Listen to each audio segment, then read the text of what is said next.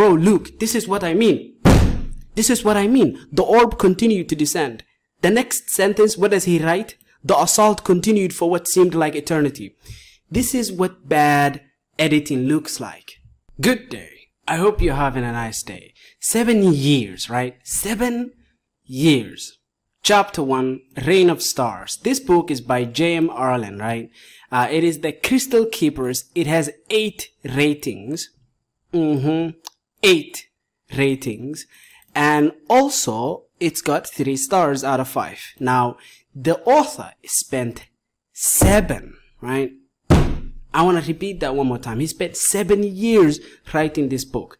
Then the book comes out. He self-publishes the book and he goes on Reddit and he starts being toxic all over everyone. I made a whole video about this and you can go and check that video out. Basically, it's his Reddit meltdown and it looks something that is really straight out of a ch spoiled child's story, you know. When you have those children that are the children of a billionaire or something like that, and they are super spoiled, I mean, how could you give me just a Lamborghini for this month? Uh, that kind of attitude, because he felt entitled to sales simply because he wrote a book for seven years. And apparently it's his first book. And I want I'm making this video. Why am I making this video? You might say, ooh, that's because you're toxic and you just want to criticize something. No. It is simply because I want to dispel, I want to basically erase a particular narrative that is very common in media, right? And you see this all over Crystal Keepers. It is the idea of idealizing the writer who spends a lot of time writing a book, the same book, and expect that book, and, and you know, that book is expected to be because of the time sacrifice, because merely of the artist having spent so much time making the art, it must be good. And this narrative is idealized and it takes noobs, basically people that are very new to writing, and it leads them astray. It basically takes them in the wrong direction. Like Crystal Keepers, like J.M. Arlen, he has been taken to the wrong direction, alright? He has been swindled of so much of his time. He basically lost not necessarily seven years, but five years. Because a book like this, if it's your first book, you really only spend two years on it, okay? And then you move to another book and write another book and try to gain experience that way. Chapter 1, A Rain of Stars. Mm-hmm, mm-hmm. There is a chill in the air, the farmer said. His front door swung open, rattling on its hinges. It starts very good, right? It starts really good, right? This is when you realize J.M. Arlen, like any writer who has really spent some time writing prose, his prose is not bad. His prose is clean. And you see, this video is not just a criticism of J.M. Arlen and his actions. It's just his writing. And I will say that his prose, from this moment onward, it actually keeps a certain quality. It is overwritten in some places, but it keeps a certain quality and it never sacrifices that quality. But why am I here, therefore? I am here simply to point out the, the, the, the, the editing. Because you see, this is why you should write a lot of books and try to edit those books early on.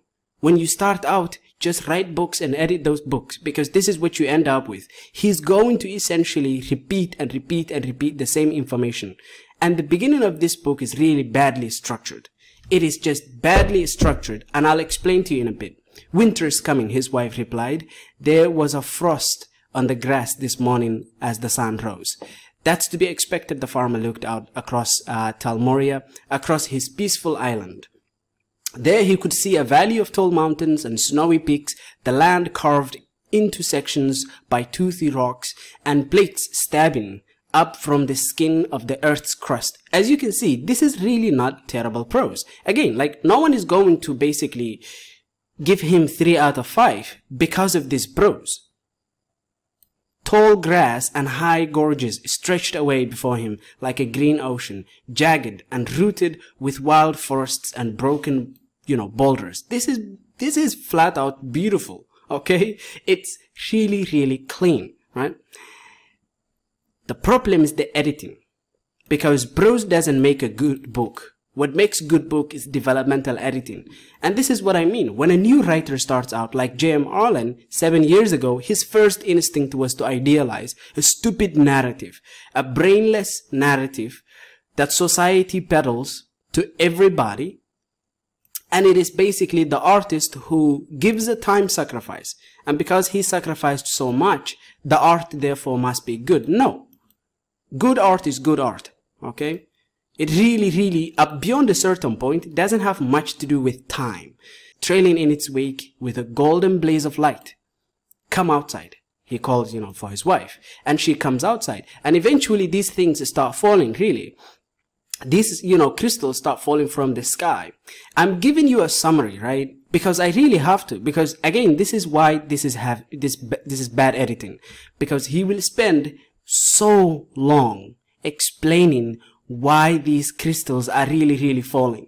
And this is indicative of his bad editing, terrible, terrible developmental editing. The sky had come to life with color as the stars sparked and hissed. Hmm. I don't know about hissed. Uh, above, like a rain of sputtering flame, thousands of burning orbs dashed across the sky, some trail shattering mid-air, bursting into clouds of glowing dust and hazy light, while others went further, falling all the way to the earth's surface. And when they hit the ground, a magnificent boom, magnificent, you know, maybe use something else like a shattering boom, anyway, would fall, would follow, shaking the island to its core. All right. But you see, this is where the problems begin for him. This is where he starts falling apart as a writer.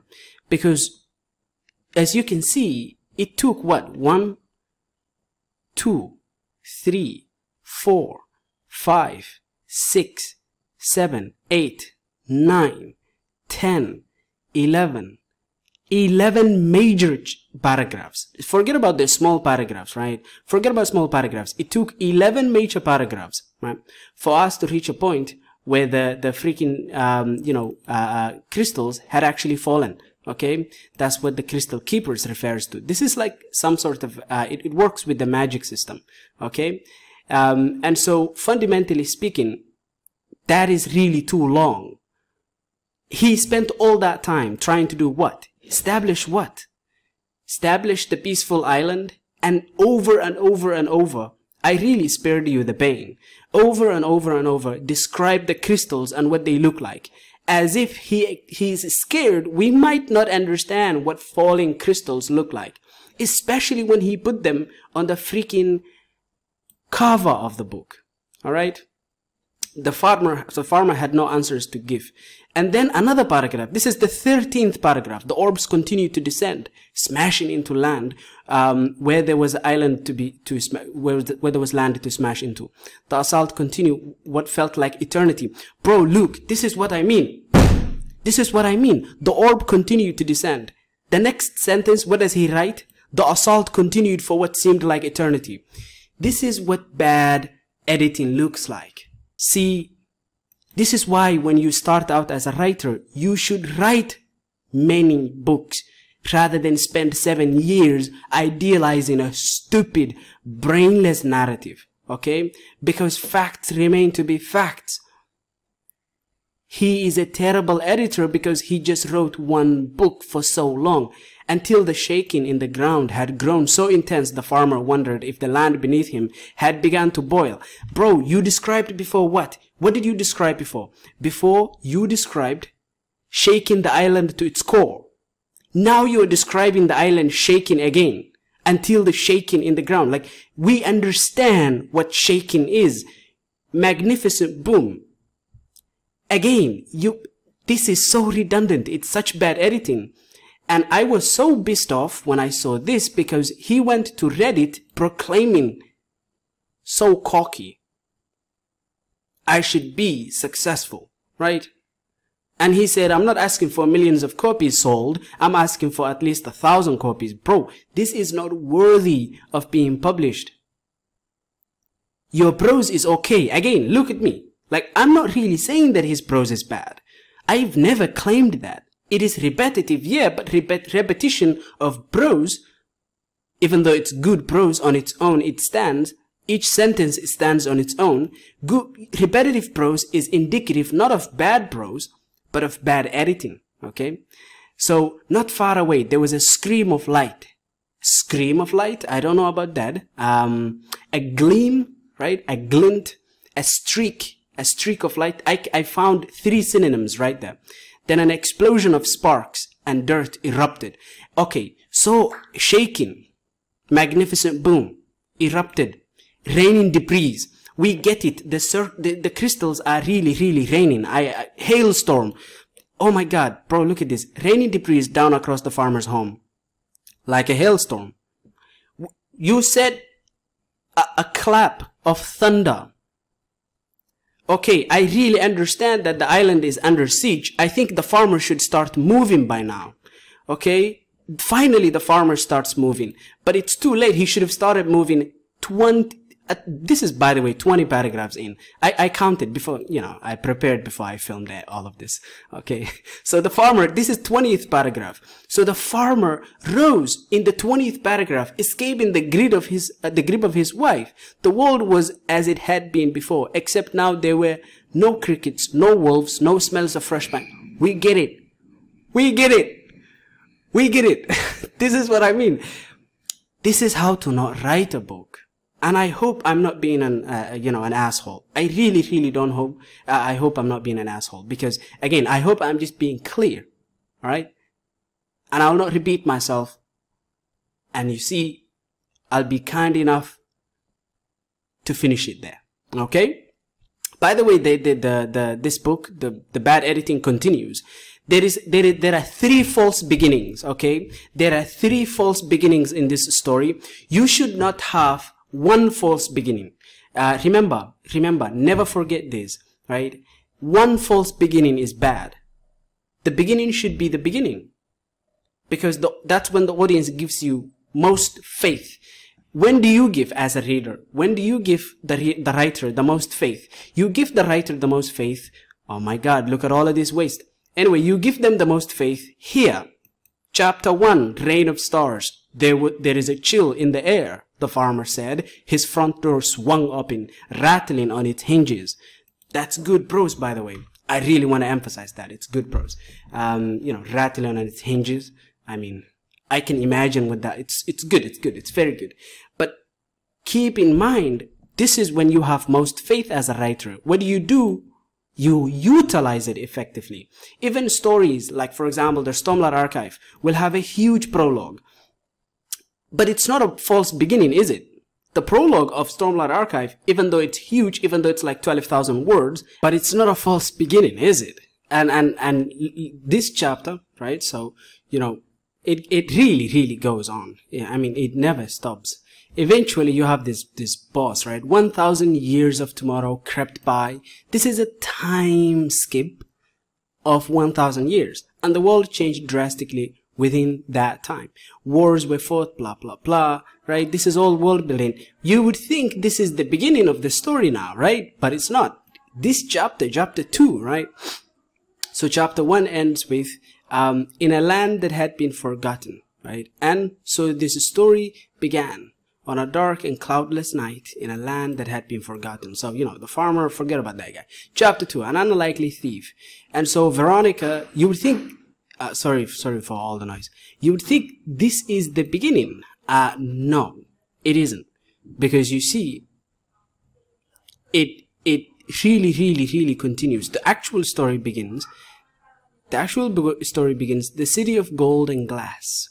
Um, toward the end, to, like, this is not also the chapter. Chapter 4, right? Chapter 4 is really, really when the story actually picks up speed. Now, how many words to chapter 4? How many pages to chapter 4? That is a significant number of missed pages. Okay, there's a lot of noise in the house, so I'm gonna stop recording, but I hope you understand what I'm talking about. You can help me cross the beacons, Manny remembered asking. No, a voice had responded. Under them. It was a woman and her son, Manny remembered. The woman was the one who spoke, what were their names? Asher and Fordham. Manny tried hard to concentrate. on who they were, wondering why they had helped her get to the north in the first place.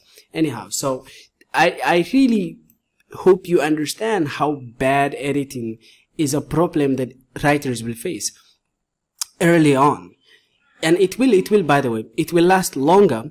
It will last way longer, as you can see here. It will last way longer than the writer's bad prose phase, right? So you'll, you'll write bad prose and have bad editing in the beginning. Then you'll have good prose and still have bad editing. Okay. Uh, this is why you have to hire someone to help you edit your book, but you cannot hire someone to help you write your prose because guess what? That's plagiarism or ghostwriting. Okay. It's something entirely different. Uh, and I hope you took something from this video. Have a nice day. Bye. Tell me what do you think down in the comments below.